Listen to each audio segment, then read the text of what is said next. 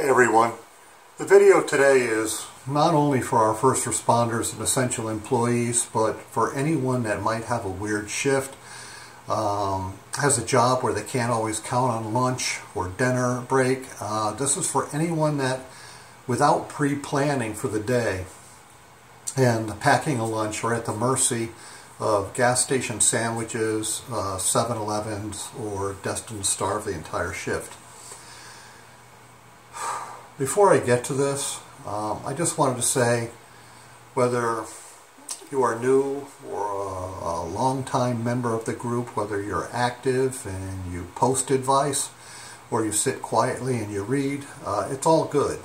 It's who you are. Uh, it's, if you're offering advice, it may be good that uh, you live what you teach. I was on my way to work yesterday on the radio. I heard an old song from 1975 called Junk Food Junkie. If you haven't heard it, it's uh, you should probably look it up. It's it's actually pretty funny. It's the tale of a guy who's referred to as Mr. Natural um, during the day. And at night, up in his room, he's got a safe that's filled with ding-dongs and everything else, and he eats that stuff until he passes out. Um, just want to say people can always spot a junk food junkie if you are one. And uh, if you're going to talk the talk, then it's kind of important to walk the walk. So um, practice what you preach. Now, I'm not perfect, and I'll never claim that I am. And unlike what was said uh, earlier, uh, that I must be making these videos out of some need for attention, well, some people may post out of some twisted need for attention, but it's not me. Uh, in fact, I'm a very private person. Uh, I give enough of myself to the public five days a week, and when I'm in uniform, I get more attention than I want. But something in me still wants to help everyone. And uh, I'm genuine. If you see me in a supermarket, I invite you to come over and take a look at what I'm buying in my shopping cart. Take a look. As a matter of fact, um, I would love to meet you. And uh, if, if that ever happens, I would love for you to come over and say hi because I really am approachable. I think whether you're online or in person, you should be the same person and kind to everyone. Uh, one of the good things that came out of COVID, at least for me, was the move to mandated support groups online rather than in person. Uh, now we can sit in privacy of our own homes and the comfort and watch Jane and her guests kind of uh, inspire us without any issues.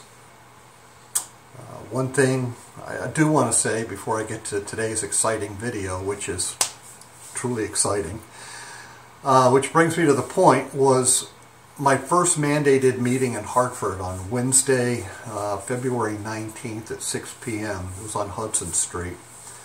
I got there a little early and I found this large auditorium type room and I'm not really sure where I should sit. So I walk in, there's this big room and, and I really, it, it's scary because it's like your first day at school and you're the new kid and you're here with all these veterans that have been there for so long.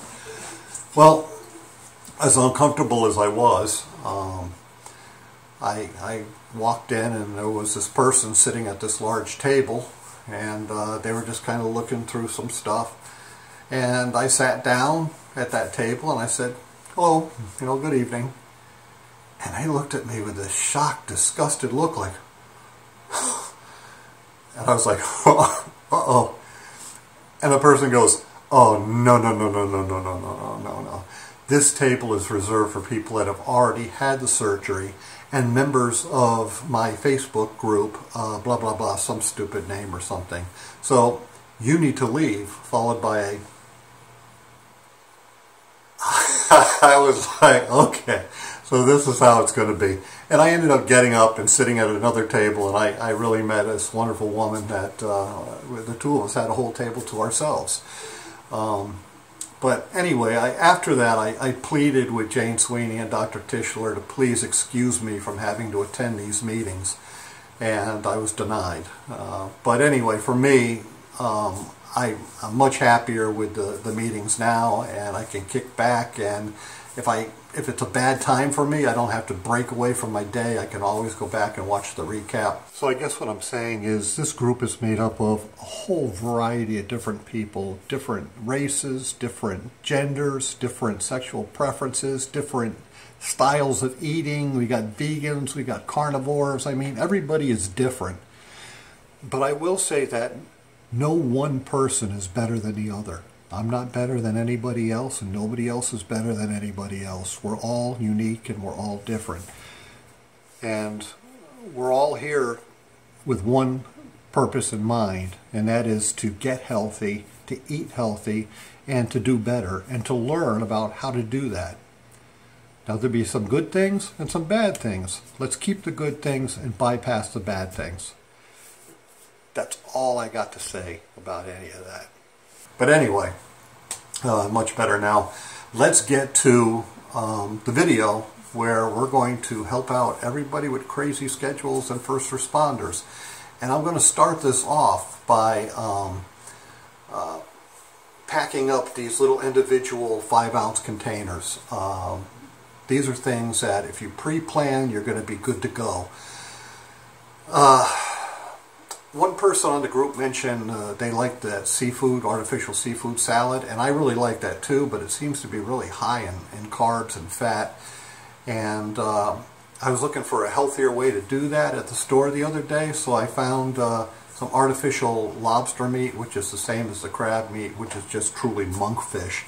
But um, I'm going to put that together right now with a um, little bit of yogurt even a smaller amount of mayonnaise and some salt and pepper and a little bit of onion and I think I could, excuse me, I think I can make it healthier. But let's take a look at what we can put in our lunch bags to get us through those days where you don't even know if you're going to get a lunch. All right, first up is the lobster salad. I got this lobster classic mix. Um, it is still kind of high on carbs. I think it's uh, 11 grams for a half cup and I don't think that there's really any fiber or anything else, but uh, it's still better than the store-bought pre-made. So it's it's basically just chunked up monkfish. Uh, that's about all it is. And to that I also added some chopped onion. I would like to add some celery, but I didn't have any on hand. And this is just a quick prep for uh, my dinner uh, tomorrow while I'm at work. So I'm going to add to this a little bit of black pepper.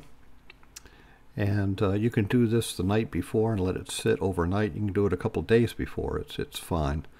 Uh, I'm going to add some chives. You can add whatever things that you like in there. You could add Cajun seasoning, whatever you'd like. Um, this is just basically what I'm going with. Uh, I've got some tarragon leaves here, and I'm going to uh, sprinkle those about. Now, to moisten all of this, I usually use 5% yogurt. Um, this is kind of all just in there, lumped together. But I didn't have any on hand, and all I had was this 0%. Um, and it's really thick. It's almost like wall spackle paste. So I, I don't like it, but I'm, I'm going to go with it anyway. I probably used a little more than I wanted to, but um, for this application, I would say probably half a container uh, would have been proper. I probably used um, a little more than half, almost three quarters. And mixing it up is a tough thing to do. It's it's it it is. It's like glue. It's like paste. Um, and I know I'm not making it sound very appealing, but it is. Its main job is to moisten up this uh, this stuff. Now um, to add flavor. So with flavor is fat. So we're going to go with um, uh, some Sir Kensington uh, classic mayonnaise. They have avocado mayonnaise as well. This is made with sunflower oil. It's got the healthier ingredients of the two. But um, I add a, a big tablespoon of that and I'm just going to kind of blend it in like this and I'm going to mix it up. So it's going to take over the taste of the non-taste of the yogurt. Um, so we've got all the moistness and goodness that we want, but it doesn't have the high fat content as if we were soaking it in mayonnaise, especially like the store bought. I'll give it a quick taste, and uh, what I determined after tasting it is it's going to need a little bit of salt. Uh, that's the only thing I was missing, so I'm going to add some sea salt to that and uh, continue to mix it up. Now, this is going to travel really easily, and I'm going to scoop it up and I'm going to put it into the um, smaller containers. So let's just get to that. Now here I've got a five ounce container. It comes with the lid. I bought these on Amazon. Um, you know, to be earth friendly, I probably should be using uh, uh, reusable like the, the Tupperware. But um, to be honest with you, I just don't get around to cleaning it. Uh, I end up just tossing this. But um, anyway, I'll pack up the salad into these and I'll snap the lid on. And these travel really well inside a container. And it's usually about four to five ounces of uh, food inside here. Uh, let me measure it up really quick and uh, we'll see what we got. Let's drop it on the scale and that one container is 4 and 5 eighths ounces. Now, using the same container that we did the lobster salad in, or the artificial lobster salad, I'm going to make some tuna salad. So I've got this large can of uh, um, tuna, a solid uh, white albacore in water, and I'm going to just get that in the bowl. And I also have along with this two other cans, a uh, different brand, but also it's uh, the, the fancy albacore tuna. I get whatever's on sale at uh, BJ's or uh, at the supermarket if it's on sale. So we're just going to uh, put this right into the same container. I mean, I would love to add celery too, but I didn't have any on hand. Um, so I got to use what I got. Uh, because I'm the only one that'll be eating this, uh, I don't mind using my own hand uh, without a glove, so I'm just going to bust everything up with my hands. And once I got it busted up, I'm going to use what's left of that uh, uh, yogurt that I had, the 0%. I should have used had half a container, but I used a little bit too much in the lobster. So um, I'm going to try to spread this around as best as I can, but I'm going to make up for the lack of moisture, um, still kind of pasty, by adding a spicy brown mustard. And uh, I'm going to give that uh, the Sir Kensington's I like. Um, it's like pretzel mustard, but I give it a pretty good coat. I'm going to squirt some in there. And that also adds a flavor. And I'm going to throw in some uh, uh, organic lemon juice. And I'm going to put in a tablespoon and maybe a half just to finish up the jar um, there's there's like nothing left inside the jar, so I'm just going to use up what's left of that with the mayonnaise. And I'm going to add some black pepper. Get that in there. And what else we got? I'm going to do some tarragon. And I'm going to put a, oh, a good eh, portion of a palmful in there. I, I just love the, the, the fresh taste and the, the flavor and the scent of tarragon. It's almost got like a little licorice uh, flavor to it. And I'm going to add some granulated garlic. I'm just going to put a little bit of that in there uh, because, like you know, it's tuna. And what else have I got around here? Um, maybe a little bit of sea salt just to get it in there because that, that yogurt really does suck any of the, the it doesn't have any seasoning or salt to it or anything. It's just it's like paste. Um, so I've got this mixed up pretty well. Uh, I did add, I don't know if it's going to be on the video here, I don't think so, but I did add some sweet onion, uh, chopped sweet onion in there. And again, no celery. So I've got my cups out again, and I'm just going to fill these cups up. This is going to make about uh, five uh, of these cups, and I think they average right around a little over five ounces when I weigh them. Now, these are great to have in the bag because you can um, have them um, eat them with a fork. You can have some like crackers if you want a few little crackers here and there, and you can put them on crackers, uh, whatever. But you can always come back to it. So here I've got five uh, tuna salads in five ounce containers, and I got three of the lobster salad in five ounce containers. And these are ready to go in the fridge. Now we move on to another great standby. I get these at Big Y. They're the big rotisserie chickens. Um, I have bought them from other stores, like uh, uh, discount stores, and they were really weird. I've I've gotten into them, and I've there's like tumors inside the meat and stuff. So I'm I'm really leery about chicken, but uh, I've had no problem with the Big Y chickens. I guess you get what you pay for. so I'm going to break this all down just with my gloved hand and show you how easy it's going to be. Um, I'm going to reach underneath the first breast here and kind of feel with my fingers, and I'm going to pop that right out. And the reason I like to do this with my bare hands is I don't like surprise bones. I want to feel for the bones, and you'll be able to easily feel for them uh, with your hands and be able to pull them. So uh, I'm going to work one side of the chicken at a time here, and I'm going to grab up any of the meat that's that's loose. But for the most part, it all came up with that one shot. Now I'm going to grab the other one, and again I'm pulling up and cl clearing out. There is uh, a little bit of bone. I can feel it with my hand, and I can get it out of there because nobody wants to be choking on a chicken bone. So um, get those and I just put them aside in the upper lid and now I've got the two large breasts out and I'm going to be picking through and, and looking actually for any other um, uh, tasty meat. The legs I'm going to bust and I'm going to put them aside.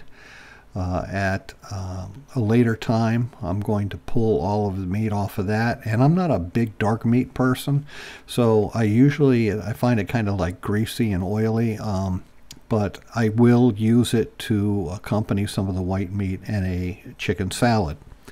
So I will put that all aside and I'll eventually get the meat off of that bone. But I'm dealing with just pretty much the carcass now. So underneath here, a lot of people forget this little oyster under here. Um, this is a very tender little piece of chicken. It's like the size of a coin. And usually it's reserved for the chef, but uh, there it is. It's, it's so tasty. There's one on each side and it's tender and they say it's the best part of the chicken but uh, that's debatable but anyway uh, now that I've got this uh, all broken apart uh, I'll start getting to work on the actual breast itself. Um, I don't need a knife. I'm just going to pull it and shred it. Um, there's so much you can do with this. You can put this on salads. You can um, eat it by itself. Uh, you can make chicken sandwiches on the uh, either on lettuce leaves or you can put them in low carb wraps or you can put them on the low carb uh, toast like I do. Um, so much you can do with the chicken and you can just wrap it up and send it and you got a quick sandwich you can carry in your hand and you can woof it down um, if you have to when you're you're running out of time at work. Um, you can also make the chicken salad, and just like the tuna salad, uh, you can. It's so much you can do with this chicken, and it's really a great tool to have. Now another tip I have is dinner time. If you're going to be cleaning and prepping shrimp and you're going to put them on skewers, by the way, this is the proper way to skewer shrimp to keep them moist. Um, make extra because you're going to want some of that for a quick meal. I mean, you're going to go through the trouble of cleaning it and cooking it. Make some extra.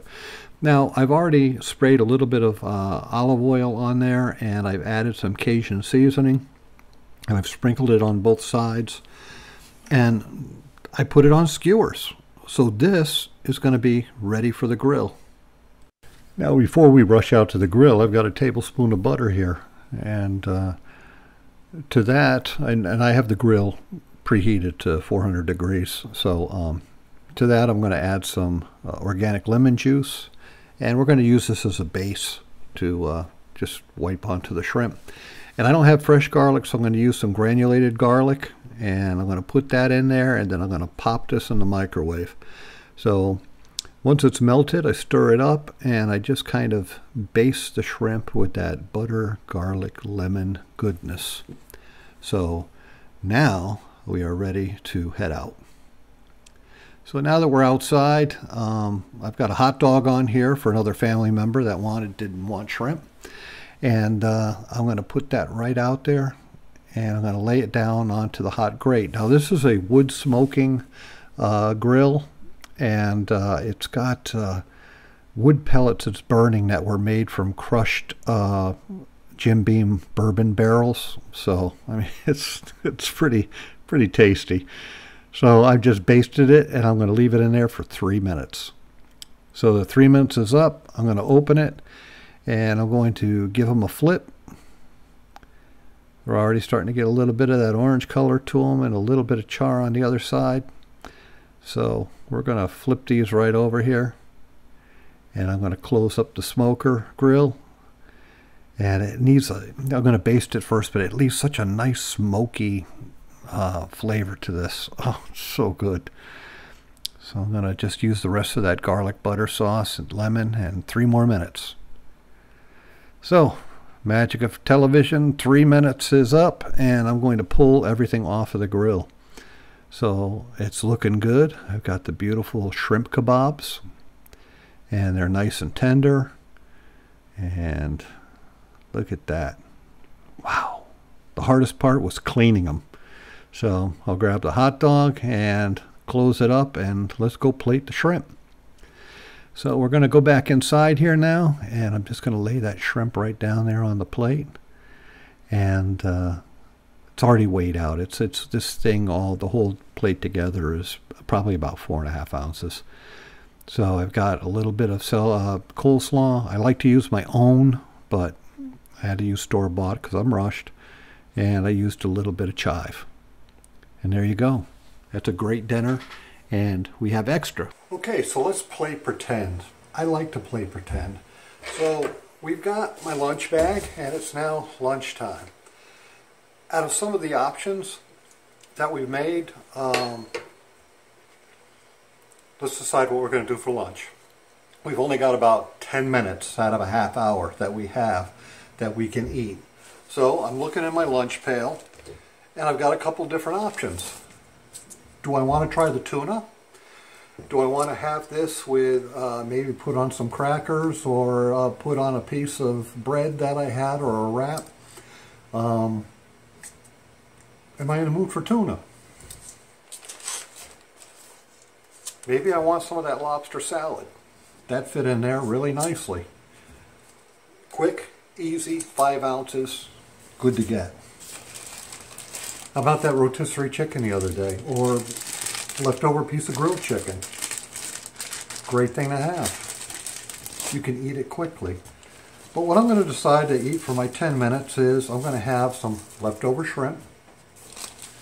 And I'm going to have a little bit of leftover coleslaw. So, I've only got 10 minutes. So I'm going to sit here. I've got three pieces of shrimp. And I've got some coleslaw. So first, Let's get the shrimp that we took all that time to clean and everything yesterday.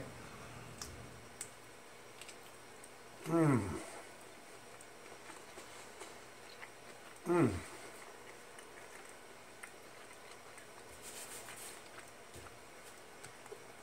Still got that smoky goodness.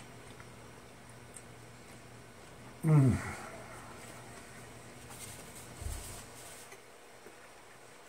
Hands down beat 7-Eleven. Have some coleslaw.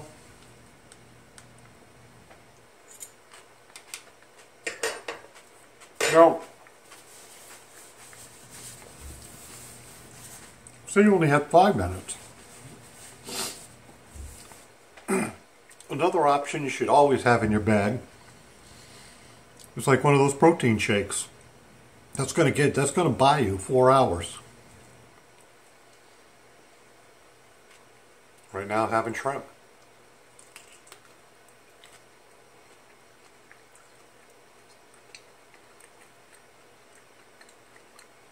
I don't have the timer going.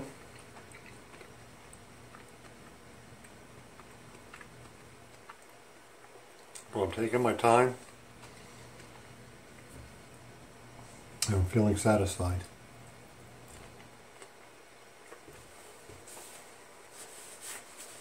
Let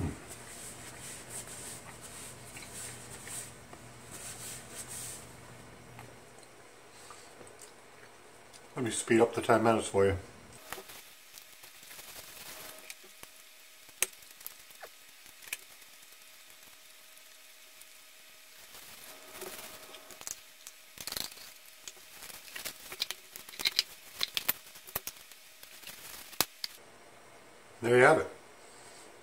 Lunch. It's better to be prepared than not have anything at all. Because otherwise, people are bringing in donuts or bringing in other crap.